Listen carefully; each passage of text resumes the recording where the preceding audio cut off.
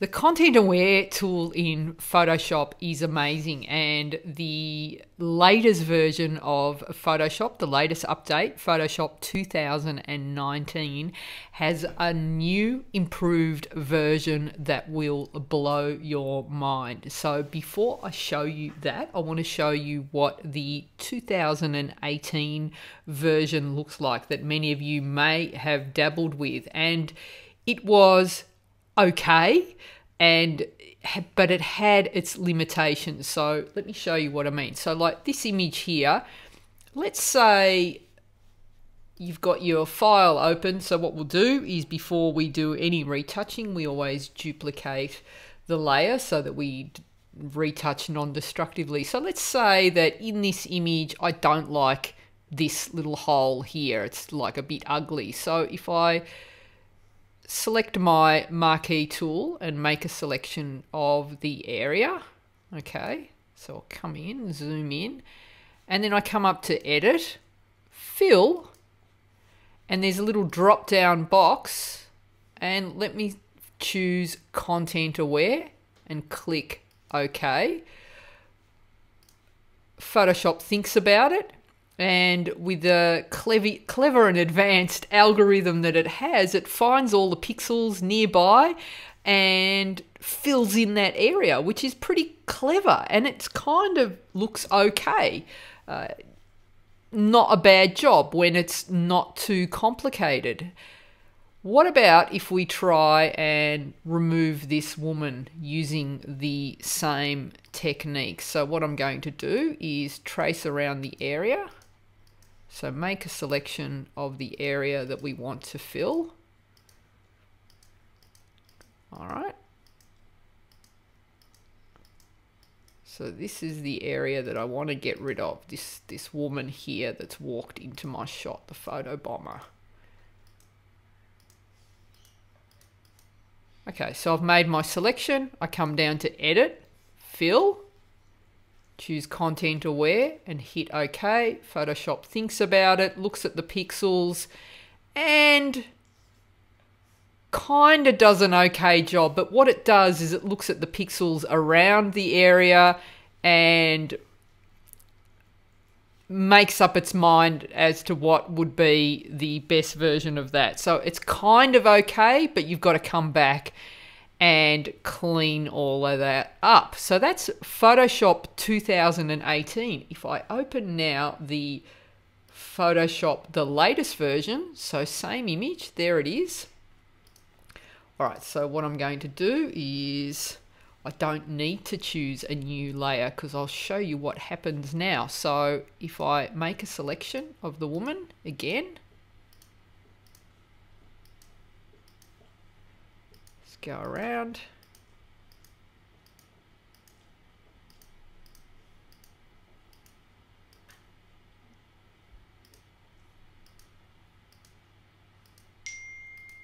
All right, so I've made my selection and I come down to edit. There's fill, but if I go down a couple more, there's a new action here called content aware fill. If I click on that, look what happens. I get this little dialog box. There's my original file. And here's what Photoshop has done. It, and it's made the same mistake again. It's selected the area right next to the woman's foot and it's filled it in using that. But here's where it gets really good. What I can do, if I zoom out, so on the left, is my selection.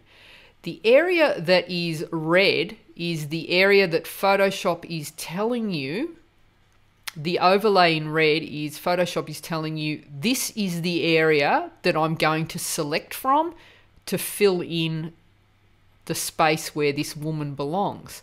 So what you can do is using these new tools is I can now come in and you can see I've got a brush tool, I've got a selection lasso tool, I've got a move tool, and I've got a zoom tool. With my brush tool, if I select the minus, I can now come in, see how my brush has got that little minus on it? I can now say to Photoshop, I don't want you to use this area to fill in. I don't want you to use pixels from here. I don't want you to use any of the pixels from the doorway. And I can, in fact, just select pixels that I think match that area. So I don't want any of this, so I can take it away. I don't think any of this is going to be helpful, so I'll take this whole area away as well. And let me get rid of this doorway as well. So now what I'm saying to Photoshop is I only want you to look in and around those areas that are uh, that are marked red and Photoshop thinks about it. You can see that little spinny wheel there and have a look at that. It does a really good job. Now you've got some other settings here that you can tweak the the selection as well. So and basically it's going to be different for every shot. So you can check scale and have a look what it does. You'll see that it's thinking. And if it looks better, you leave it. There's also mirror, and that's more if you've got like patterns and things like that. Let's have a look how that looks. Does it look better or worse? Let's uncheck it.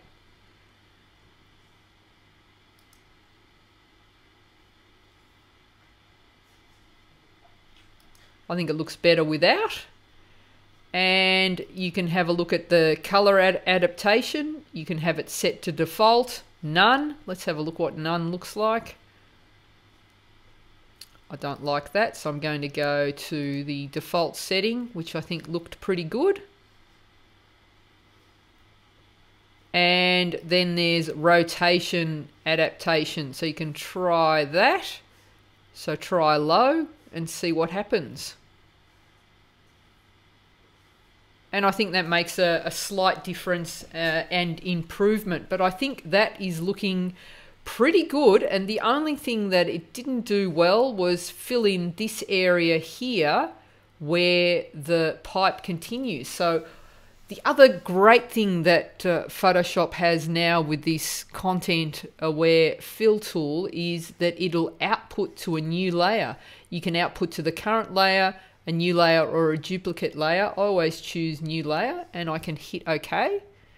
And I can come back here and there is my new layer so non-destructive editing so you can see that Photoshop has done a pretty good job at removing the figure from this image but there are a couple of issues here like there's a little dip where the lady's foot was and this pipe here hasn't quite been continued which is an easy fix. So what I like to do is just do a little bit of hand cleaning up with the clone stamp from here. So what I'm going to do is create a new layer. I'm going to come into my clone stamp. I'm going to have a blend mode of normal, opacity 100%, flow 19%, and I'm going to have like a maybe 20% hardness.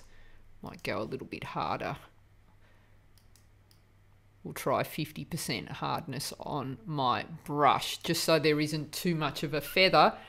And what I'm going to do, I can use the bracket keys to make my brush smaller or larger.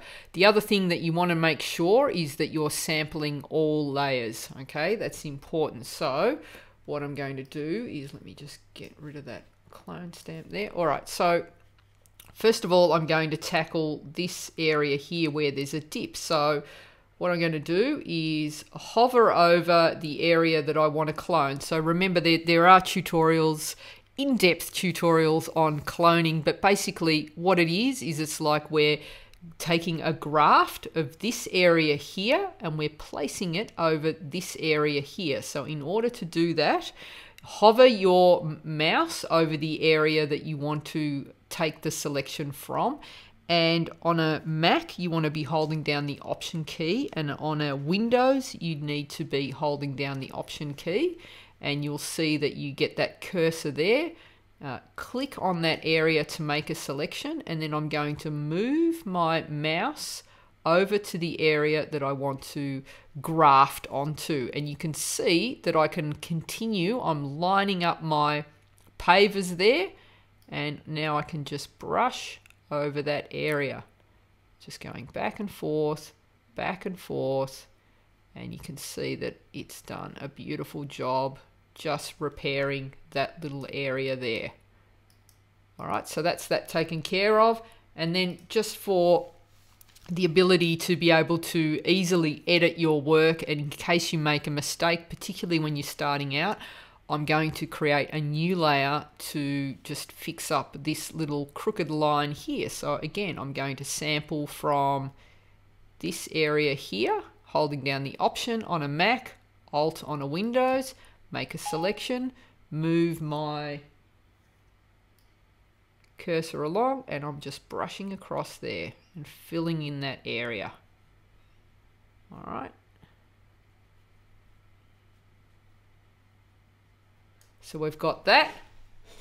New layer, I'm going to now do the pipes. So what I'm going to do is holding down Option Mac, Alt on a PC, and I'm going to click on that area, and then I'm just going to come down, and I'm going to go all the way over the edge.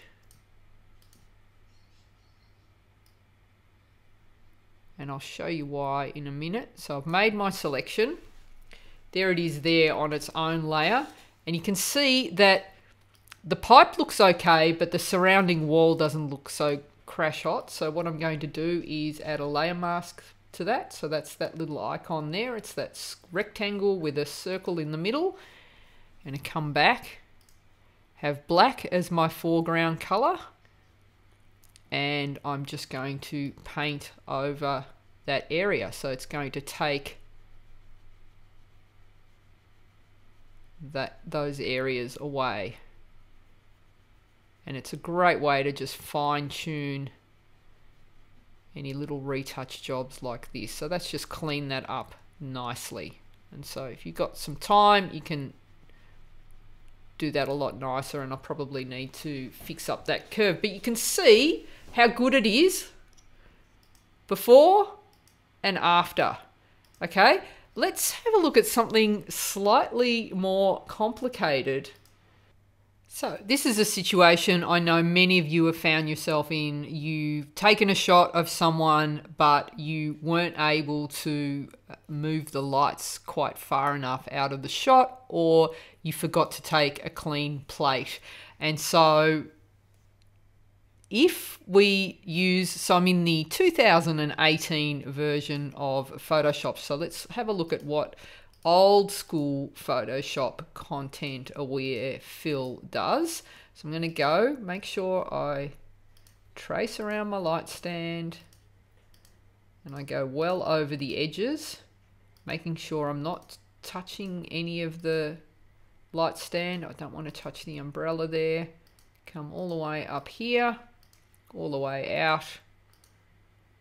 All right, so I've made my selection, edit, fill, content aware, okay. It's going to think about it for a bit.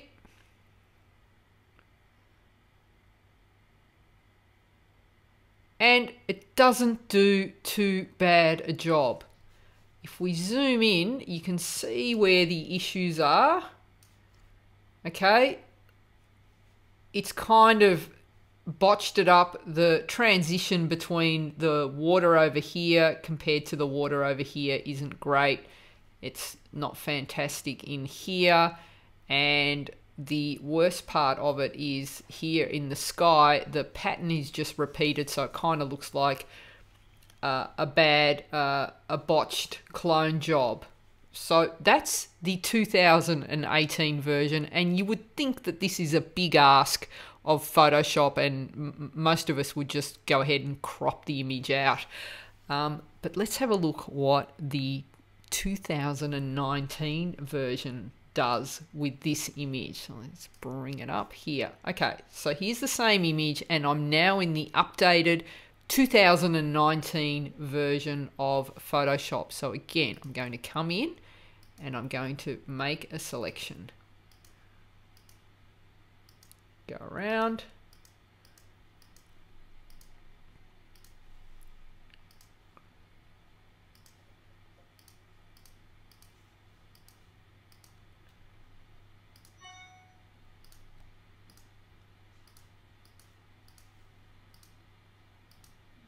All right, so there's my selection. Always make sure you don't have a feather selected when you do this because that's going to interfere with Photoshop's very sexy algorithm. Okay, so I'm going to come down and hit content aware fill and let's have a look what it does. So we've got our dialog box up and at the moment Photoshop is saying I'm going to use the entire area as reference to fill in the area where you want to cover up this softbox.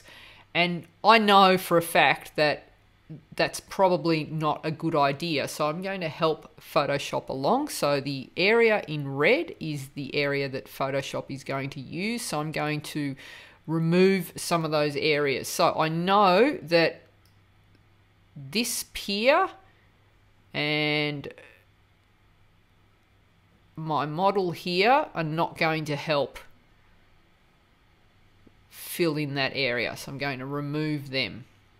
All right, so it's that brush tool is selected and I've got the minus selected. So that's taking away from the masked area. Okay, I will include the sky because I think that's necessary and I will also include the foreshore because that's going to fill in that area but what I'm going to do is also remove the umbrella so I don't confuse it and get rid of this little chair here as well and just make sure that I'm also going to remove this section of the pier to make life easy so Photoshop then doesn't duplicate this staircase as well. So you can see over this side here as I've been doing that it's the selection is gradually getting better and it's you have to admit it's pretty good. It's a complicated image here in the background. There is a lot going on. Photoshop is very very clever. This is this is pretty cool stuff. Uh, so now what I can do is I can, let me just zoom out here and I'm going to just make this a bit bigger here. What I want to do now is just fine tune my selection. So again, it's different for every image. So I'll come in and let me see what color adaptation, if I go to none, how that looks. I think it was better at the default. Much better. So let's try high. No good. So let's go back to default. All right. Rotation adaptation. Let's try low.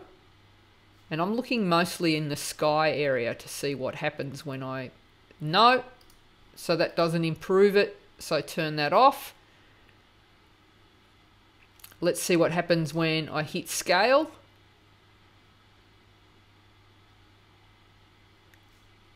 No good either.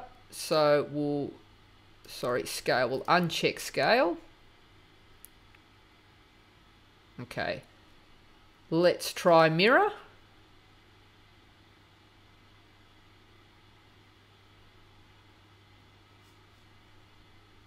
Just wondering if I think Mirror looks a lot better. So I think Mirror does a better job of creating those clouds. The transition looks a lot more natural. So I'm going to stick to Mirror and then I'm going to output that to a new layer. Wait till Photoshop stops thinking. It's still thinking. So this uses a fair bit of memory. You can imagine it's um, pretty sophisticated stuff. So wait till it's made its selection and lined up all the pixels. Hit OK. And there it is. So there's our original and there's our new layer. So if we zoom in, we can see it's not too bad, but in here just deselect. There are a couple of issues. This is a bit dodgy in here, and this is certainly a bit dodgy in here. So what what you can do, but the sky looks really good. So what I can do is I like to do these in stages, particularly for something this complicated. So what I'm going to do is now merge these layers. So it's this layer and this layer and I'm going to combine them all onto their own layer. So it's Command, Option, Shift, E. All right, so now I've got this layer and this layer merged onto their own layer and I'm going to do the whole lot again with smaller selections. All right, so let's start with this area in here, which is not looking uh, too fantastic. So I'm going to come in and make a selection around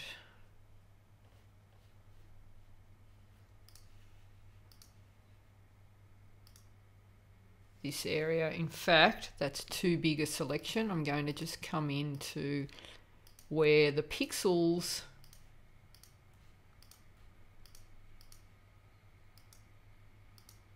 don't look quite right. So edit, content aware fill. So we get our dialog box up and this time Photoshop again has said, all right, I can see what you, I can see where you're going here.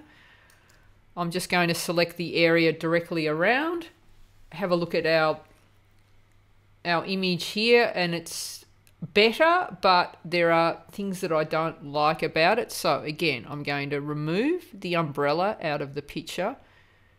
And I think I'm also going to remove this section of the pier.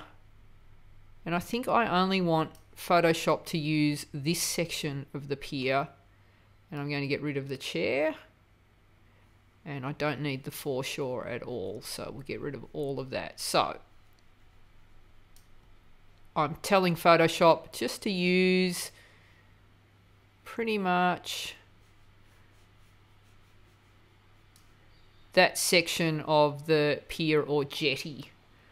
And let's have a look how that's going. It's not looking too bad. It's definitely cleaned up in here a lot more and the masts of the these are all ships here in the background. It's picked up all that detail uh, and it does look a lot better. So what I might do is I'm going to see if scale works because if you have a look at over this side here, the jetty or pier is going back in the distance. So I want to see if using scale will help improve the perspective a little bit and helps the overall look of that image. So let's see what that does. And it does. And I think that looks pretty good just for that section. So all I want to do now is clean up the water in here. So I'm going to do that in its own separate layer. So I'm going to hit OK. And there it is there. That's our new layer. Before and after. Let me just come in a bit closer so you can see. Before and after. I think it's done a pretty good job there for something way off in the background. Okay, so again, Command Option Shift E up onto its own layer. And now the final step is I just want to come in and clean up this area here, the water, just smooth that out a little bit. So I guess I could also try uh, cloning, but I might just see what happens if I try content aware again. So edit, content aware fill. All right, so let's see what Photoshop has given us as a selection. All right, so again, we've got a lot of area that is unnecessary. So I'm going to remove the jetty out of the picture. Okay, so we don't need the sky, don't need the jetty in the image. Get rid of all of that. Again, don't need the chair, that's not helping. And I definitely don't need the shoreline for this. So it's just the water that I want Photoshop to select from. So I can now have a look. And that is looking pretty good. You can see that's improved it a lot. Uh, scale won't help. Let's see if color adaptation, let's try high. And let's see if that helps with the transition. Mm.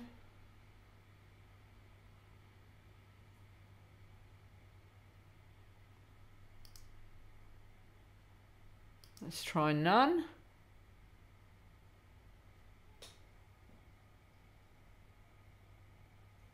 I think I'll, I prefer none in, in this instance. Let's try the default again. So you can see it's kind of a lucky draw sometimes, and it's just a matter of like, well, let me see what happens. I think the default is pretty good. I think that looks really nice. Now we've got the lovely transition, and I think that that I think I'm done. I've just got to clean up this shoreline, uh, and that's it. So let's uh, commit to that. So there it is, up on its own new little layer there, before and after. I think that has done a good job.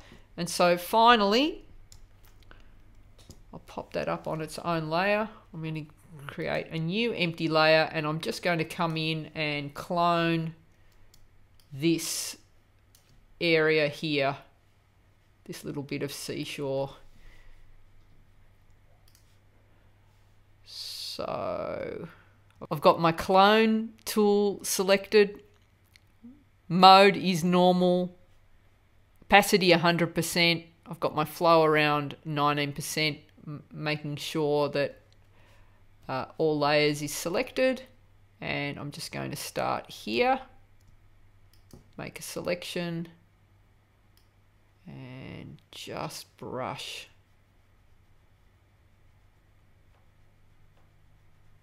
over that just to clean it up. And I think that's finished it off nicely. So let's have a look.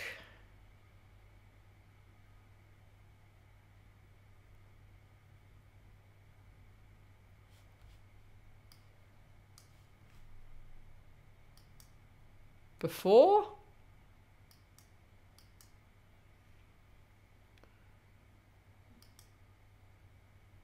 and after. And that's using the new 2019 Photoshop content aware fill tool.